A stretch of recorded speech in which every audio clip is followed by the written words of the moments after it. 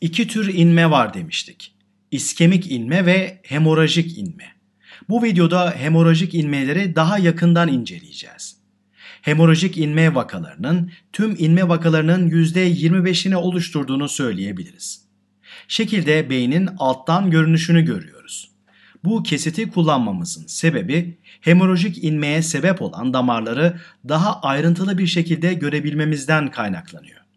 Buradaki Willis çemberindeki kan damarlarından bahsediyorum. İsterseniz önce hemorajik inmenin ne olduğunu hatırlayalım. Hemorajik inmede beyin damarlarından biri çatlar ve kafatası boşluğunun içine kan sızdırmaya başlar.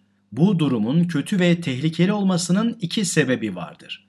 Birincisi beyindeki kan dolaşımında kan kaybı olur. Neler olacağını buradaki arkadaşımız üzerinde göstereyim.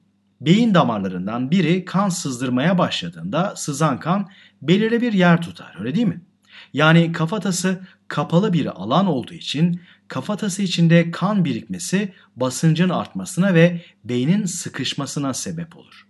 Buna ek olarak damarlardan kan sızması, kanın damarda akmaya devam ettiğinde ulaşacağı beynin daha alt kısımlarına ulaşamaması anlamına gelir. İşte bu yüzden kanın ulaşamadığı alanlardaki beyin dokusu ölmeye başlar. Hatta durum daha da kötüleşebilir.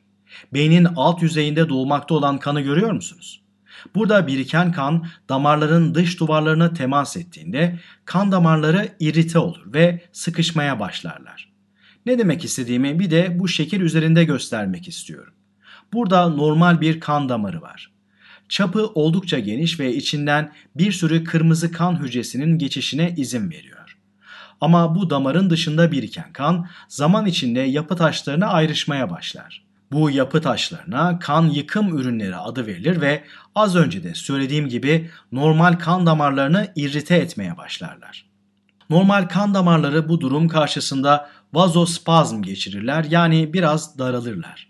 Normal damarlar vazospazm geçirdikten yani daraldıktan sonra içlerinden eskisi kadar çok kırmızı kan hücresi geçmeyeceğini tahmin etmişsinizdir kan yıkım ürünleri yüzünden irite olmuş damarların daralarak buradaki beyin dokusuna yetecek kadar kan ulaştırmadıklarını düşünelim. Bu durumda hasta ikincil bir inme geçirir. Bunun için hemorajik bir inme sonrası ikincil inmelere sebep olabilecek vazospazmlar hakkında çok dikkatli olmak gerekir. Evet, hemorajik inmelerin neden kötü sonuçlar doğurduklarını gördük. Peki, hemorajik inmeye neler sebep oluyor dersiniz? size en yaygın sebeplerinden bahsetmek istiyorum. Evet, sizce bir beyin damarının yırtılmasına ne sebep olabilir? Bu damarların yırtılması için başka bir sebepten dolayı önceden zayıflamış olmaları gerekir. Mesela bir anevrizma yani damar duvarında oluşan baloncuklar. Willis çemberinde oluşacak bir anevrizma sonucu buradaki damarlardan birinin duvarı bu şekilde aynen bir balon gibi dışarıya doğru şişer. Bu anevrizmaların en çok görüldükleri yerler az önce çizdiğim gibi posterior komünikan arter, orta serebral arter, anterior komünikan arter ve son olarak orta serebral arter, anterior serebral arter ve internal karotidin birleşme noktasıdır. Anevrizmalar başka yerlerde de oluşabilir ama dediğim gibi en çok görüldükleri yerler bunlar. Anevrizmalar dışarı doğru baloncuk gibi şişen zayıflamış damar duvarlarıdır demiştik.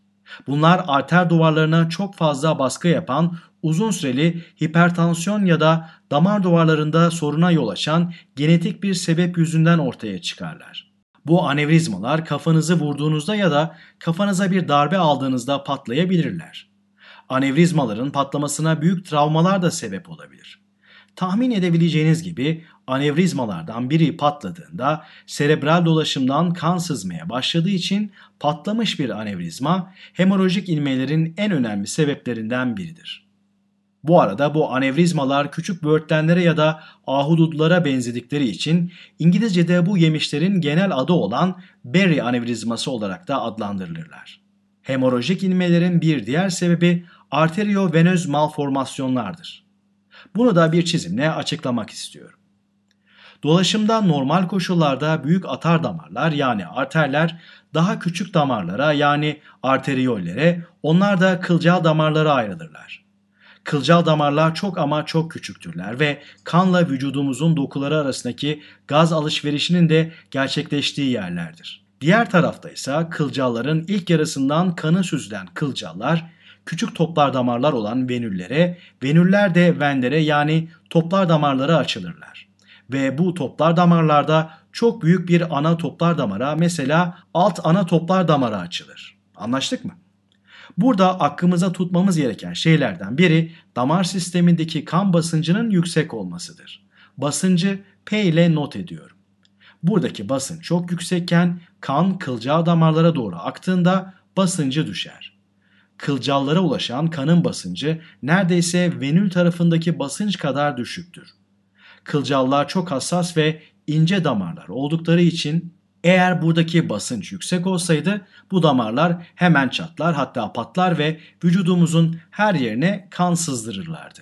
Aslında arteriovenöz malformasyonlarda ortaya çıkan durum da budur. Böyle bir durumda sistem buradaki çizimdeki gibi işlemez ve sistemdeki kılcal kısım bypass edilir. Yani arteriyoller doğrudan diğer taraftaki küçük toplar damarlara bağlıdırlar. Ve bu da toplar damarlara gelen kan basıncının yüksek olması anlamına gelir.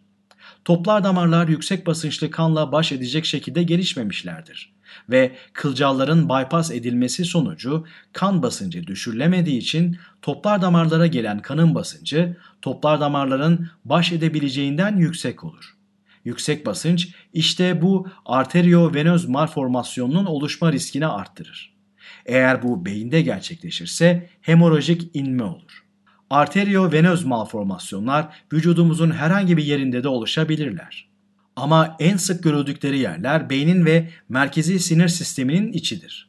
Bunlar doğuştan damar oluşumu sırasında bir sorun oluşması yüzünden ortaya çıkan durumlardır. Evet, bu videoda hemorajik inmelerin en önemli sebeplerini öğrendik.